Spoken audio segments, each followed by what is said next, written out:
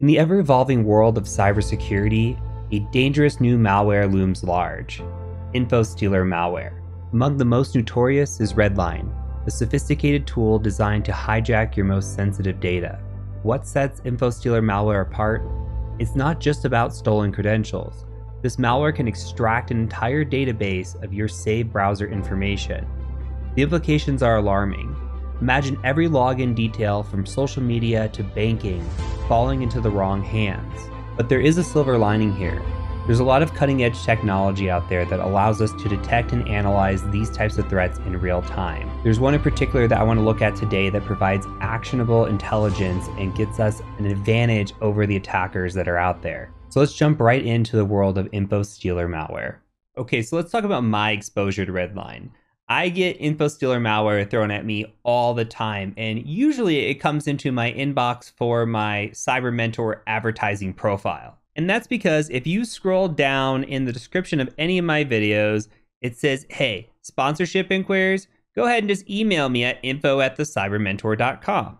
And boy, do I get a lot of emails, but there's one in particular that stands out from a couple years ago that I want to share with you because it's funny, but it also gave an opportunity to actually dig into some of this Redline slash info stealer malware that's out there. Okay, and welcome to my wonderful PowerPoint presentation because I do not have the editing skills or the editing budget of John Hammond quite yet, but I did want to share with you this screenshot of this email that I got that was totally not malware. So we come in here and it's from this Marcelo Burlon, which is funny because it's spelled B U R L O N here, but B O U R L O N here. Whatever. Okay, so hey, we are the advertising manager. They are the advertising manager, Marcelo Burlon brand. Okay, it's an Italian brand. They're explaining this to me. And this is an immediate red flag because you know, if you know me, that you do not want me wearing your brand as sponsorship. I am just not fashionable in any sense of form. So it comes in here and they're saying, hey, how much does integration cost? And also they misspell it again. So you can see B U R L O N versus B O U R L O N. Okay, whatever. But this is the funny part here. It says, we won't ask you to download strange files because I am the real advertising manager of Marcelo Burlon. And I just find that really comical.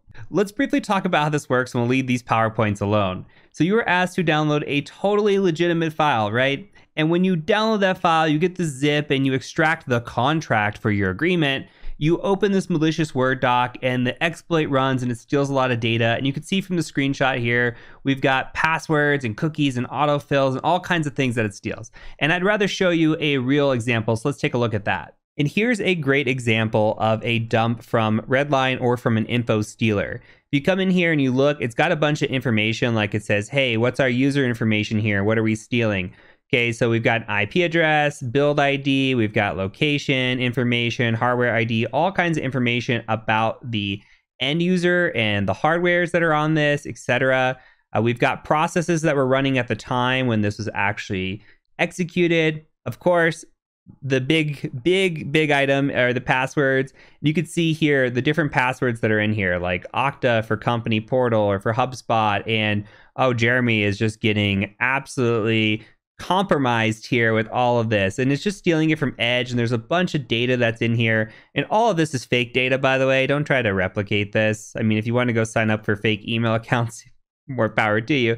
Uh, but it could tell you the installed software installed browsers um, even interesting things like hey what are your discord tokens right? And then what cookies do you have here and it can tell you all the cookies that are there for you. And this is actually something that is very real world. I can give you an immediate example of this because we did a video on it not that long ago. You remember in the news when Linus Tech Tips was hacked, my guess, 99% confidence or higher here, is that it was some sort of info stealer or redline stealer because they had multi factor authentication, they had all these things in place, they got an advertising email similar to what we're talking about now. Somebody executed it and they stole the cookies from the browser session and were able to bypass multi factor because this doesn't just steal credentials, it steals cookies as well, among other things. So, this malware isn't just to attack YouTubers and take over their accounts, it is to take credentials and other data from users. And that data typically ends up on the dark web, in dark markets, and for sale. So this could be information of yours or somebody you know for sale out there. And this can lead to account compromises, bank account information being stolen, social media accounts being stolen, all of this stuff. And it's really, really, really bad. So getting all this malware thrown at me has led me down this malware analysis rabbit hole of sorts. And it's led me to a few different tools, but one just continuously stands out among the rest. And let me explain that just a little bit further. So it all started out with this video from John Hammond. If you have not subscribed to John Hammond, please go do so right now and then come back to this video.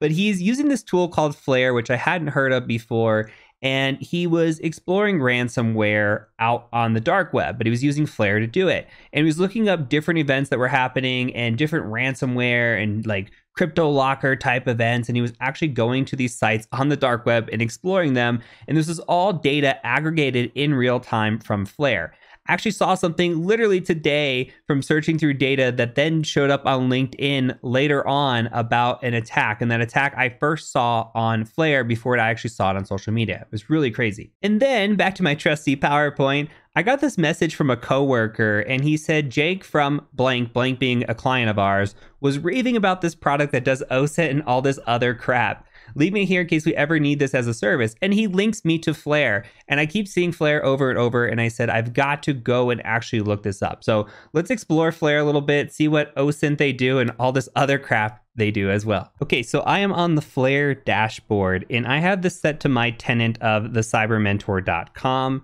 And I'm just doing this as a trial run. I'm coming in here and just looking at my exposure. And you get this dashboard insight right here where it says, hey, what are your recent events? What's your exposure score? Really, what's your risk and what's out there about you? So you can see mostly everything looks like exposed source code events, which they could be false positive, though there are some things here for criminal underground events. Uh, nothing for anything else, no leak credentials or sensitive data, which is good. And it tells you, hey, what are your high risk scores out there? It looks like I don't have anything that's high risk right now. So that's pretty good. I can click around and look at some of the insights and my history and look at some of my issues that may be out there. But really, it's mostly due to repository. So I don't have that big of a footprint, at least under the Cyber Mentor domain. But we can come in here and look at my identifiers or even some actions that may be happening out there. Uh, so we can click through and look at different events as well. This is the one that's most interesting. Let me scroll out just a little bit there so we can see this a little bit better. But we can look for my tenant, right, and see what are the events that are actually occurring for me. And I could see that a lot of this is GitHub. So they're just saying, hey, you may have some exposure or code events out there on GitHub that's fine, but we can come in here and actually sort this a little bit differently. Like I do have the Cyber Mentor in here, but I did put TCM sec in here as well. So if I wanted to like click on TCM sec, I can look at what exposure events I have in here. I could sort by severity as they're coming through. Like I don't maybe care too much about low events or informational events, and maybe I just care about uh, the highs and the the severe ones or the criticals, and I don't have any here for that tenant either. So that's nice to know at least about me. So this is really good if you have a company and you're wanting to monitor threats in real time, see if there's any uh, ransomware against your organization, any leaked credentials, anything that may be out there. Very nice. And you can do this against like a domain. So if somebody came up in a breach for TCMSec, it would actually show up in that breach and say, okay, here are the credentials that are found or what breach they were found in. And that was really nice as well. Now, something I saw John Hammond do, and I won't go too much into it because this is a different technique than what I'm covering in the video, but you can use global search features here. And I'm not going to show anything recent because I think that would be detrimental, but you can come in here and do a wildcard. And one of the features that he did was he came in here and he said, hey, I want to look at not lookalike domains, which is really cool, by the way. If somebody spins up a lookalike domain or phishing domain, you can actually click on that and apply. And Flare will do takedowns for you, which is very nice as well. And we can come through here, look at leak credentials, open web. Same thing with illicit networks. Like if we just want to look at ransomware leaks, we totally can. You can look at the market, forum posts, all kinds of things, and you just hit apply to this. And then if you come in here and select dates, we can come here and do date ranges as well. I'm not going to scroll down any further. This one, for example, was from Lockbit and it was from 2022. So I think that's old enough and it says, hey, this optoma.com was under Lockbit ransomware, and it gives you uh, all the information. It, it's going to show up. Look at this. It shows up with leaked files. Uh, it could give you a summary of the content. It shows you the Lockbit URL. So if you wanted to go to the dark web, you could actually navigate there and look at it.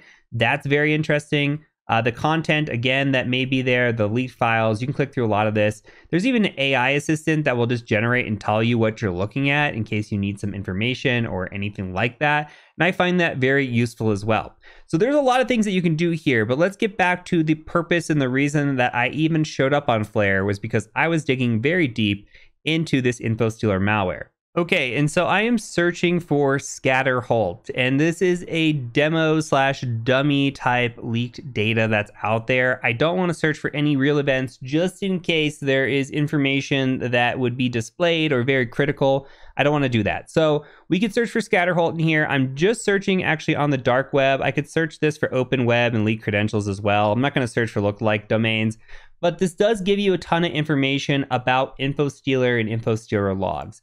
Here's one of them, for example. So I'm on this one here where it says patrick at scatterholt.com and it shows the host and it shows, hey, here's a summary.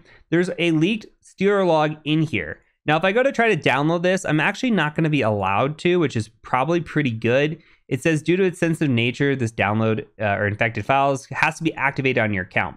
I think that's probably pretty smart. So I'm not going to download the Stealer log here and show it, but we've seen an example of what one looks like in reality, if you are an organization and you're coming through and you think that one of your users, like say this was Patrick at tcm-sec.com, if he had been compromised, I want to know about that. And then I'm going to reach out to Flare and say, I need to download these logs because I need to know what's in them and I need to alert our employee as well.